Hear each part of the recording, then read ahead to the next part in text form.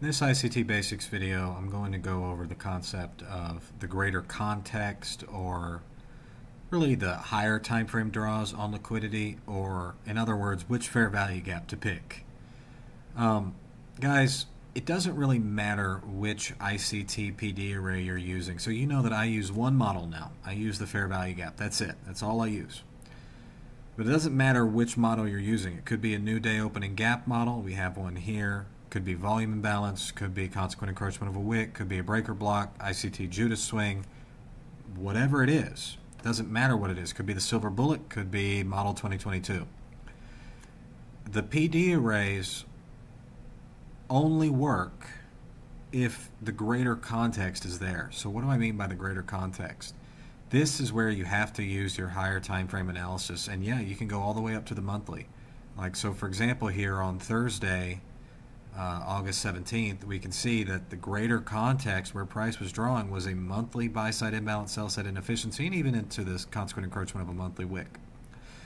Okay, that is the greater context. And so if you go down now to the 10 minute chart and you look at, you know, what the NASDAQ did today, well, which um, which PD array worked? Well, this is a breaker block right here. Okay, we have a high, we have a low, we have a higher high. So that would be a breaker block. It was also an opening range gap. So go to regular trading hours. That was a regular trading hours gap or an opening range gap that price respected and then shot much lower. The, but the only reason that it worked, the only reason that those entry models worked is because the greater context or the greater draw on liquidity was this monthly fair value gap, this monthly uh, buy side imbalance, sell side inefficiency, meaning that the market, in order to be efficient, needed to come down and uh, deliver this monthly inefficiency back to the sell side. And, you know, that's how the PD arrays work, guys, is you have to have a greater context or a, larger, basically a higher time frame draw on liquidity in order for the entries to work. So, I mean, sometimes you can just get blindly lucky for sure. I mean, the market does move in two directions, and you might, by pure happenstance, just pick the right direction. But if you want to be consistently profitable, and this is something that, yes, I have to work on and, and all that good stuff. Yes, you have to work on your stop losses. Yes, you need to know your macro times, your session times, um, a, a lot of the other concepts that I've that I've gone through on ICT Basics, and you should watch my entire playlist. But if you want the PD arrays to work, if you want the PD array that you're trying to use, like look, this is a breaker block right here. We have a low, we have a high, we have a high, and a lower low. That bullish breaker block, when price came back to it, what did it do? The market went higher. You could be a breaker block trader. Guys, just because I'm using fair value gaps does not mean that you need to only use fair value gaps. You could be a breaker block trader as long as you have the greater draw on liquidity, as in a higher time frame inefficiency, higher time frame liquidity, or thank God it's Friday model is a, is a good one as well as long as you have a higher time frame draw on liquidity and you're right about it, any of the PD arrays are going to work and they're going to take you to the same conclusion. Like the market should go down, the market should go up, or it should draw here. Okay, any any one of the PD arrays, any one of the 81 different ways that Michael has to enter, they will all just take you in the same direction. Because, guys, the market works off of inefficiencies and liquidity, with inefficiency coming first. So, why do I start on the monthly time frame? Because I'm looking for the greatest draw on liquidity okay, and then to spend a lot of time on the weekly time frame. And Michael talks about this because I'm looking to see the greatest draw on liquidity, a higher time frame draw on liquidity, the greater context of what the market should be doing.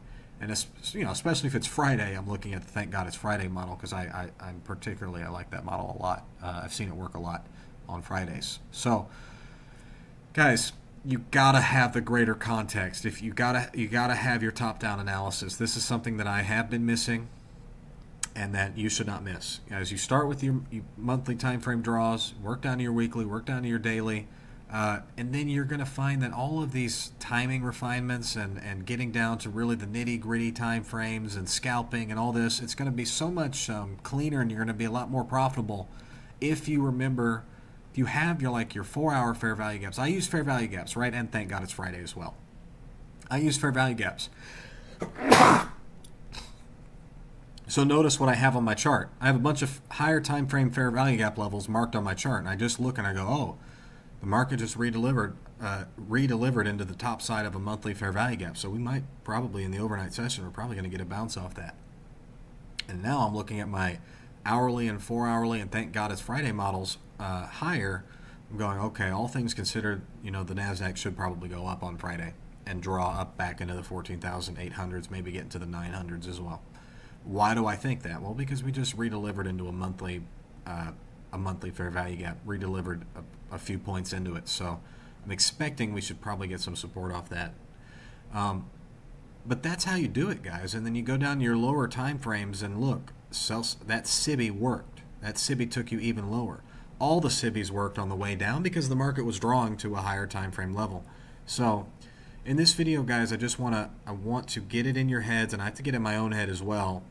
You have to have context for your PD array, whichever one you're using. You could be a breaker block trader, you could be a fair value gap trader like I am. You could trade the model 2022 you could trade any one of Michael's models. Okay, the breaker block is a good model. Like, don't discount it. Um, just because I'm not using it doesn't mean it's not a good model. It is a good model.